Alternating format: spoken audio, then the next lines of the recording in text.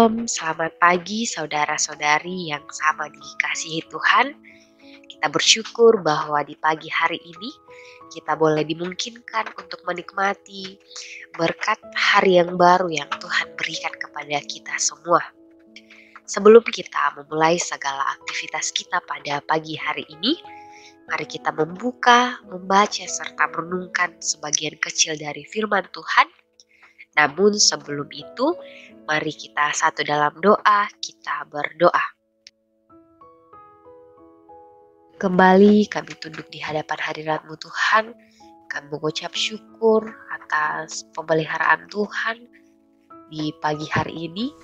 Tuhan telah menjaga kami, melindungi kami dari semalam lamanya hingga pada pagi hari ini Tuhan. Kau membangunkan kami dengan tubuh yang sehat, tubuh yang kuat itu semua karena berkat campur tangan pengasihan Tuhan. Tuhan adalah Bapa dalam kerajaan sorga, melandasi kegiatan kami, kehidupan kami, aktivitas kami pada pagi hari ini Tuhan. Kami rindu untuk membaca dan merenungkan akan firman Tuhan. Keberkati sehingga firman-Mu ini Tuhan dapat kami pahami, dapat kami mengerti, serta dapat kami aplikasikan dalam setiap langkah kehidupan kami. Berfirmanlah kepada kami Tuhan, karena kami siap membaca dan merenungkan akan firman Di dalam Kristus Yesus kami berdoa. Amin. Pembacaan kita pada pagi hari ini terambil dari Efesus pasal 6 ayat yang ke-10 hingga ayatnya yang ke-20. Efesus pasal 6 ayat yang ke-10 hingga ayatnya yang ke-20. Lembaga Alkitab Indonesia memberikan judul Perlengkapan Rohani. Firman Tuhan, akhirnya hendaklah kamu kuat di dalam Tuhan, di dalam kekuatan kuasanya. Kenakanlah seluruh perlengkapan senjata Allah, supaya kamu dapat bertahan melawan tipu muslihat iblis, karena perjuangan kita bukanlah melawan darah dan daging, tetapi melawan pemerintah-pemerintah, melawan penguasa-penguasa, melawan penghulu-penghulu dunia yang gelap ini, melawan roh-roh jahat di udara. Sebab itu, ambillah seluruh perlengkapan senjata Allah, supaya kamu dapat mengadakan perlawanan pada hari yang jahat itu, dan tetap berdiri sesudah kamu menyelesaikan segala sesuatu. Jadi berdirilah tegap, berikat pinggangkan kebenaran, dan berbaju sirahkan keadilan. Kakimu berkasutkan kerelaan untuk memberitakan Injil damai sejahtera. Dalam segala keadaan, pergunakanlah perisai iman, sebab dengan perisai itu kamu akan dapat memadamkan semua para api dari sejahat, dan terimalah ketopong keselamatan dan pedang roh, yaitu firman Allah, dalam segala doa dan permohonan. Berdoalah setiap waktu di dalam roh dan berjaga-jagalah di dalam doamu itu dengan permohonan yang tak putus-putusnya untuk segala orang kudus, juga untuk aku, supaya kepadaku, jika aku membuka mulutku, dikaruniakan perkataan yang benar, agar dengan keberanian aku memberitakan rahasia Injil yang kulayani sebagai urusan yang dipencerahkan. Berdoalah supaya dengan keberanian aku menyatakannya sebagaimana seharusnya aku berbicara. Amin firman Tuhan. Orang tua, saudara-saudari yang sama dikasih Tuhan, tema perenungan kita pada pagi hari ini adalah kuat atau lat bahasa Toraya dan kuah batak. Orang tua, saudara-saudari yang sama dikasih Tuhan, ujian dan cobaan silih berganti adalah ungkapan yang sering kita dengarkan. Namun, apakah kita memang sudah benar-benar tahan uji?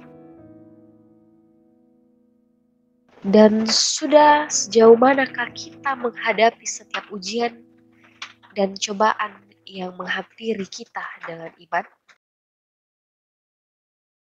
Orang tua, saudara-saudari yang sama dikasih Tuhan, surat Efesus ini ditujukan kepada jemaat yang sedang mengalami gangguan dari orang-orang yang membenci firman Tuhan yang diberitakan kepada orang di Efesus. Melalui surat ini, orang tua saudara-saudara yang sama dikasih Tuhan Paulus berusaha menguatkan sekaligus mengingatkan mereka bahwa dalam menghadapi tantangan dan cobaan dan segala macam tipu muslihat iblis harus dihadapi dan dilawan dengan menggunakan seluruh perlengkapan senjata Allah yakni bahwa umat harus berdiri tegap berikat pinggangkan kebenaran, dan berbaju sirahkan keadilan, berkasutkan kerelaan untuk memberitakan Injil damai sejahtera, untuk menggunakan perisai iman, dan menerima ketopong keselamatan dan pedang roh, yaitu firman Allah. Perlengkapan ini sangat penting karena Paulus menyadari bahwa Perjuangan itu sangat berat dan beresiko karena yang dilawan bukanlah melawan darah dan daging, tetapi melawan pemerintah-pemerintah, melawan penguasa-penguasa, melawan penghulu-penghulu dunia yang gelap ini, serta melawan roh-roh jahat di udara.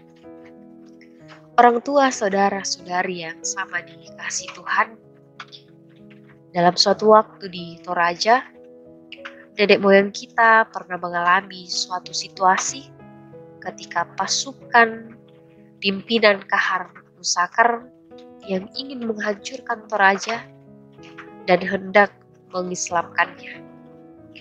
Tantangan kita saat ini makin kompleks. Berbagai wujud tipu muslihat iblis makin tampak melawan kebenaran Allah dan orang percaya. Orang tua, saudara-saudari yang sama dikasih Tuhan untuk dapat menghadapi dan melawan setiap tantangan yang kita hadapi saat ini.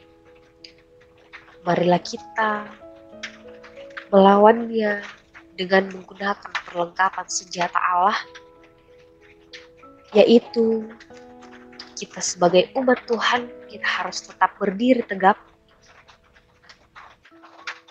Kita harus berikat pinggangkan kebenaran, serta marilah kita senantiasa kuat dalam iman kepercayaan kita kepada Allah. Amin. Mari kita satu dalam doa, kita berdoa. Syukur bagimu Tuhan untuk setiap waktu yang indah yang kau berikan kepada kami pada pagi hari ini Tuhan. Kami telah membaca dan merenungkan sebagian kecil dari firman-Mu. Kiranya Tuhan memberkati sehingga firman-Mu yang telah kami baca dan renungkan pada pagi hari ini dapat kami berlakukan dalam setiap langkah kehidupan kami serta biarlah firman-Mu ini dapat mengambil bagian dalam kehidupan kami. Tuhan adalah Bapa dalam kerajaan sorga. Kami akan melanjutkan seluruh aktivitas kami, kehidupan kami pada hari ini Tuhan. Mari Tuhan Engkau menjaga kami, menuntun kami, melindungi kami, sehingga kami tetap dalam lindungan kasih pemeliharaan Tuhan. Seluruh hidup dan kehidupan kami Tuhan sepanjang hari ini, kami tetap serahkan ke dalam tangan pengasihan Tuhan. Ampunkan segala salah dan dosa kami Tuhan. Terima doa kami ini, permohonan kami, ungkapan syukur kami, akan bawa melalui anak Yesus Kristus. Itulah Tuhan dan Juru Selamat kami. Amin.